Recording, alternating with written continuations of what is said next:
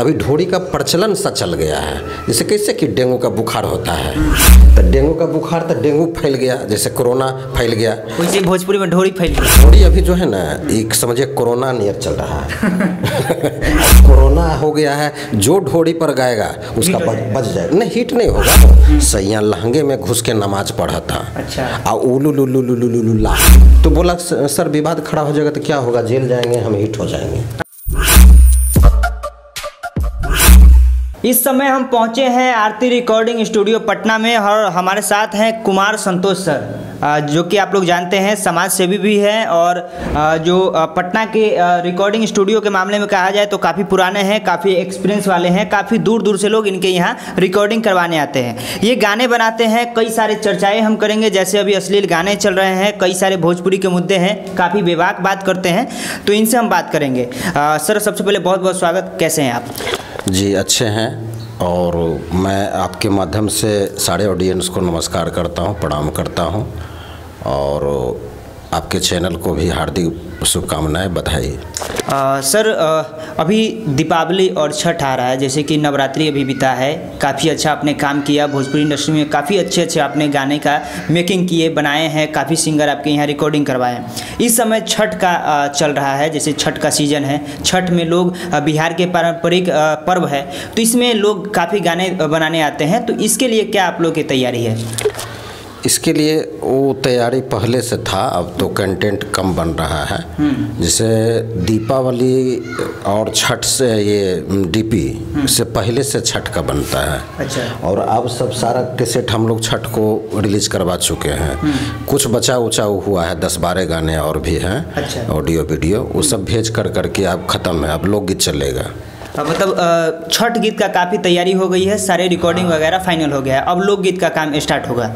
मतलब हमको लगता है कि फिफ्टी सिक्सटी परसेंट हम मास्टर भेज दिए छठ का। अच्छा। और रिलीज़ भी हो गया है। अब तीस परसेंट और बचा हुआ तीस पैंतीस परसेंट जिसको कि कल से परसों तक में भेज करके रिलीज़ करवा देंगे। आ, सर काफ़ी लोग फ़ोन करते हैं हमें कुमार संतोष जी के पास रिकॉर्डिंग कर, आ, करवाना है। काफ़ी लोग हमें भी कांटेक्ट करते हैं। आप डायरेक्ट कांटेक्ट नंबर बता दिए। डायरेक्ट लोग आपसे कांटेक्ट करेंगे क्योंकि आ, लोग चाहते हैं कि हम कुमार संतोष जी के पास रिकॉर्डिंग करवाएँ क्योंकि आपके बारे में सारे लोग सुनते हैं तो डायरेक्ट आप नंबर बता दीजिए ताकि लोग कॉन्टेक्ट कर पाएँ। मेरा नंबर तो यही है seven four two eight seven four four one two four five यानी चौहत्तर अट्ठाईस चौहत्तर बारह पैंतालीस। अच्छा।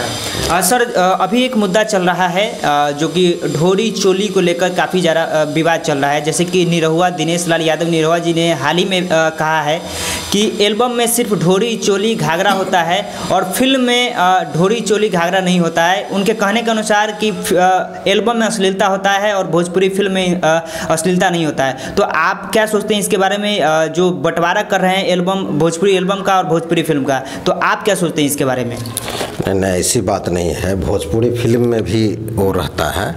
चूँकि आपको याद होगा कि सरकाई ले खटिया जाड़ा लगे। वो फ़िल्म का सॉन्ग था। लेकिन डायरेक्टर उसको तड़का मार दिया भोजपुरी का। तो गाने वैसे ही बनते हैं। डायरेक्टर को पैसा जो रिकवरी जो होना है वो तो करेगा ना। तो क्या था? भोजपुरी का तड़का मार दिया डायरेक्टर जबकि हिंदी सॉन्ग था। तो वैसा सॉन्ग रहता है फ़िल्म में भी रहता है एल्बम में तो रहता ही है। जी। तो मतलब वैसा जो उनका बंटवारा रहा है आप क्या सोचते हैं? क्या दिनेश लाल यादव जी सांसद है बीजेपी से जो राजनीति करते हैं? क्या लगता है दिनेश लाल यादव जी अब भोजपुरी में भी राजनीति कर रहे हैं? क्योंकि आप भी समाज सेवी हैं जदयू के नेता हैं। उनके बारे में तो हम ज़्यादा कुछ नहीं बताएँगे लेकिन बात वही है। राजनीति कर हाँ। वो सब चलता है। और जब राजनीति में आदमी उतर जाते हैं तो राजनीति तो करेगा ही। तो ये ये हमको लगता है कि गलत है यहाँ। कॉन्टेक्ट ये गलत है इसी दिशा पर दिनेश लाल निरहू भी चल रहा है। तो ये गलत है ये नहीं होना चाहिए। आप जो मैंडेट आपको दिया है उस मैंडेट को निर्वहन करिए। अब आप हम तो लोग स्टूडियो में ज़्यादा समय देते हैं। चलिए राजनीतिक छोड़ते हैं और भोजपुरी इंडस्ट्री की बात करते हैं। अ, सर क्या कुमार संतोष जी अभी तक अश्लील गाने बनाए हैं अश्लील गाने गाए हैं क्योंकि आजकल ढोरी चोली काफ़ी ज़्यादा हिट हो रहा है। ढोरी पे कुछ भी गाना बन रहा है हिट हो जा रहा है। कई सारा गाना बजा है और कई सारा विवाद भी चला है। आप इसके बारे में क्या सोचते हैं? क्या कभी आप अश्लील गाना बनाए हैं? देखिए अश्लील गाना हम कभी नहीं बनाए हैं और नहीं बनाएँगे। दुअर्थी शब्द रहता है। अच्छा। जो कि ऑडियंस को जो है ना उसको समझने में थोड़ा सा चूक हो जाती है। अच्छा। तो दुअर्थी जो भी शब्द है वो अश्लील नहीं होता है। और अश्लील कौन होता है कि डायरेक्ट जो लिखा हो डायरेक्ट गा दिया हो वो अश्लील है। और कुछ कुछ लोग ऐसे करते हैं तो वो चीज़ नहीं बचता है। कहे कि पर्दे की आड़ में जो आप किसी को हर मकान है मकान को बिना पलिस्तरा में देखिएगा तो आपको लगेगा बेकार अच्छा देख नहीं अच्छा नहीं लगेगा। इसको पलिस्तरा करा करके रंग पेंट करा के हाँ। तो वही है कोई चीज़ को नग्न अवस्था में कुछ बनाना या परोस देना जनता को गलत है। गलत है। वो खाएगा ही नहीं। आप थाली परोस रहे हैं खाना के लिए। तो थाली में आप कहिएगा कि चिकन नहीं रहे ये महकता है अश्लील है। तो अश्लील कौन कह रहा है? जो नहीं खा रहा है उसको। और जो चिकन और मीट मछली अब तो सब मरवाड़ी लोग भी खा रहे हैं। वही चीज़ है। हाँ गलत किया है कि कोई मनुष्य का मांस काट दिया हो वो गलत है। यानी नंगा कोई ये एकदम बेपर्द लिख दिया हो राइटर अब बेपर्द उसको कोई सिंगर गा दिया हो वो गलत है। जैसे कि मैं जब दिल्ली में था तो एक सिंगर था वो बोला कि सर मैं ये गाने को गा रहा हूँ। सैया लहंगे में घुस के नमाज़ पढ़ा था। अच्छा। आ उलू लुलू लुलू लुलू ला अच्छा। तो हम तो बोल दिए थे कि विवाद खड़ा हो जाएगा। तो बोला सर विवाद खड़ा हो जाएगा तो क्या होगा? जेल जाएँगे हम हिट हो जाएँगे। अच्छा। तो हम कहे ठीक है गा दो। तो उस समय हम दिल्ली में थे तो हम बोल हम सलाह दिए कि नहीं गाओ? विवाद में पढ़ के स्टार बनने से कोई फ़ायदा नहीं दब जाओगे बाबू। हिट दो। फिर तो। हाँ। मतलब विवाद करने वाले कुछ ही दिन विवाद में रहेंगे फिर उसके बाद दब जाते हैं। इसलिए कि वो दब जाते हैं फिर दूसरा काम काम धाम खोजने लगता है। तो मैं यही कहा लेकिन वो नहीं माना। अंतिम में वो रिलीज़ हुआ बवाल मच गया। अब उसको खोजने आया पुलिस। कि कौन गाना इसको गाया है कौन इस गाने को लिखा पहले कौन है। तो राइटर धड़ाया पहले तो सिंगर को धड़ा तो कहा मेरा गलती नहीं है। वो पहले से योजना बनाए हुए था। हाँ देखिए ये लोग जो हम्म, गलत काम करने वाले होते हैं ना वो पहले से योजना बना के चलते हैं। तो ये लोग होता क्या है कि एक्चुअली ये लोग को उलू लुलू ला मुस्लिम पर गा दिया। आ सैया लहंगे में घुस के नमाज़ पढ़ा था। मतलब मुस्लिम समुदाय पे गाना बना के हिट होना चाहा तो मुस्लिम समुदाय छोटा समुदाय जो कि कम जनसंख्या है आ हिंदू आप गा दिए हैं तो मुस्लिम के लिए अगर गलत चीज़ गाइएगा तो आप फिट हो जाइएगा। ये तो तय बात है। और विवाद खड़ा हो जाएगा लेकिन आप दब जाइएगा बाद में। तो मैं बच्चे को यही सलाह देता हूँ सब सिंगर को चाहे बच्ची बच्चे हों कि आप विवाद में नहीं फंसीए बढ़िया चीज़ को गाइए। और बढ़िया चीज़ में दुअर्थी शब्द को लेके चलिए और हिट हो जाइएगा। जैसे ये ढोड़ी का मैटर था तो ऐसा कोई ख़राब सॉन्ग नहीं था। हिट होने का कारण था। कि ढोड़ अब जैसे सी- वो राज गादी आया क्या नाम है उसका? नेहा नेहा राज गादी ढोड़िए पर गादी तभी ढोड़ी का प्रचलन सा चल गया है। जैसे कैसे कि डेंगू का बुखार होता है। तो डेंगू का बुखार तो डेंगू फैल गया जैसे कोरोना फैल गया। वैसे भोजपुरी में ढोड़ी फैल गई ढोड़ी अभी जो है ना एक समझिए कोरोना नियर चल रहा है। और कोरोना हो गया है जो ढोड़ी पर गाएगा उसका। बच जाएगा। नहीं हिट नहीं होगा। हिट होगा उसका। जो कि दुअर्थी शब्द रहे और कुछ मसाले मसालेदार रहे। मतलब कुछ समय के लिए वायरल हो जाएँगे असली गाने लेकिन हिट नहीं होंगे। असर सर अभी एक मुद्दा है जैसे वाला बच जाएगा। ढोड़ी का जो भी इस्तेमाल करेगा बच जाएगा। बसरते बहुत मुद्दा है। आप कोई कोई जो है हम आपके इंटरव्यू में बोलेंगे, कोई होशियार आदमी वो भी लिखवा लेगा कि ढोड़ी में सैया करुआ तेल लगा के सगरों में, मालिश कराता, ताकि ढोड़ी कटोरी बना दिया। तो कटोरी में तेल लगा के तो ये सब उलूल जुलूल हक, हरकत कोई बढ़िया प्रोफेशनल राइटर नहीं करता है। जो हम लोग प्रोफेशनल काम करने वाले हैं, हम लोग जो भी सिंगर को लिखवाते हैं तो दुअर्थी शब्द लिखवाते हैं कि हमारे स्टूडेंट लोग आगे बढ़ें सिंगर लोग, बच्चे बच्चे सब आगे बढ़ें और निकल जाए। क्योंकि जितना निकलेगा, मेरा हाथ अच्छा लगेगा ना। हम अपने हाथ को देखते हैं, बहुत सौभाग्यशाली अपने अपने आप को मानते हैं कि हम बहुत भाग्यशाली हैं कि मेरे हाथ से जो भी निकला है, वो निकला है।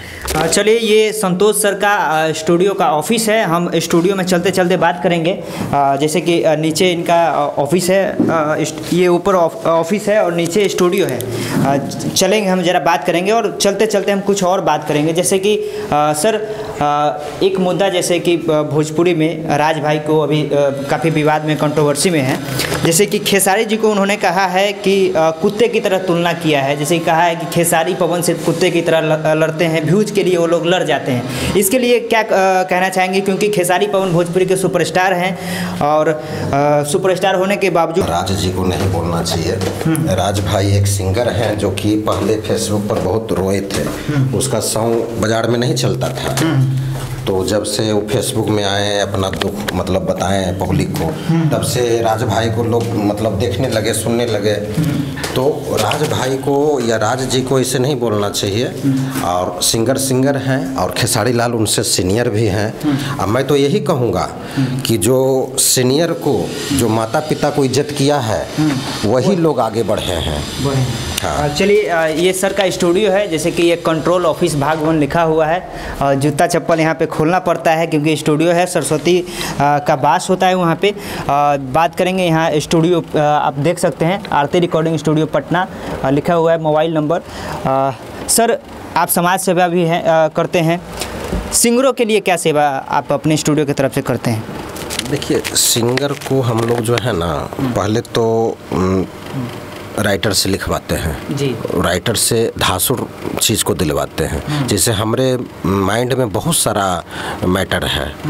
तो सिंगर जो है सिंगर को मैटर कोई देना नहीं चाहता है राइटर तो सिंगर में हमको पकड़ लेता है कि जाते हैं संतोष सर के पास। तो हमको जैसे ही पकड़ता है तो हम राइटर से कहते हैं कि भाई अच्छा मैटर दो। कहा कि मेरे नाम पर विश्वास पर लोग हाँ। तो हम एक्चुअली करते क्या है कि हम विश्वास पर जितना हो सकता है उतना हम वो लोग को खड़ा उतरते हैं। तो राइटर को जैसे ही हम बोलते हैं तो राइटर चूँकि हम पुराने आदमी हैं सब लोग थोड़ा बात समझता है राइटर लोग। तो कहता ठीक है सर दे देंगे। तो दे दिया। अब काम हो गया हम लोग का म्यूज़िक डायरेक्टर का तो वहाँ से काम हल्का हो गया। जैसे ही उसको मैटर मिल गया, बस वहाँ से समझिए काम आगे बढ़ते चला जाएगा। तो बढ़िया म्यूज़िक बनना तय है। फिर हम खुद गवाते हैं अपने से और ढंग से गवाते हैं और बहुत तरीके से मतलब बॉडी को अथी कर कर करके और आवाज़ को ये कर कर के बहुत तरीके से गवाता हूँ। आओ पकड़ लेते हैं। चलिए होता है। चलिए सर आ, हमारे साथ कुमार संतोष जी थे। आ, सर जाते जाते क्या कुछ संदेश देना चाहेंगे आप? जाते जाते हम यही संदेश देंगे कि सभी लोग खुश रहें और आगे बढ़ें और बड़े को इज़्ज़त करें। और खेसारी लाल आपसे सीनियर हैं। तो ये सब बात इंडस्ट्रीज़ में नहीं होनी चाहिए किसी के बात। आज तक हम किसी के विरुद्ध हमको लगता है कि 10 11 12 साल हमको भी हो गया इस इंडस्ट्रीज़ में। जी। लेकिन आज तक हम किसी को उलूल जुलूल बिल्कुल। नहीं बोले हैं। हालाँकि मीडिया आपको बहुत घेरती है लेकिन आप किसी के बारे में उलूल जुलूल आप बोलते नहीं। नहीं बोलते। मैं भी हाँ, ना ही बोलूँगा। जी। इसलिए अपना थोड़ा सा बचा करके प्रतिष्ठा बचा के चलिए। आप कुछ बोलिएगा वो कुछ बोलेगा। तो बेवजह मत बोलिए। आ बेवजह नहीं बोल करके सबको इज़्ज़त सम्मान से चलिए। आप सुबह में किसी को प्रणाम कीजिएगा आपको भी प्रणाम करेगा। इस चीज़ से आपको इतना मन लगेगा कि उतना आपको खाने से मन नहीं लगेगा। खाना तो खाता है आदमी कि चलो भाई पेट भर जाए। लेकिन एक दूसरे से मान सम्मान लेने से होता क्या है कि आपको मन लगेगा मन को खुशी मिलेगी। जी। तो दोनों को खुशी लेना चाहिए ऐसा बात नहीं बोलना चाहिए। और ये क्या किन्हीं को ऐसा नहीं बोलना चाहिए? चलिए सर बहुत बहुत धन्यवाद आपको। धन्यवाद।